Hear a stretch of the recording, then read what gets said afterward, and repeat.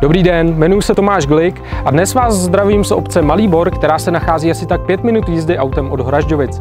Rád bych vám ukázal dvougenerační rodinný dům, který se nachází za mnou. Pojďte se na něj se mnou podívat.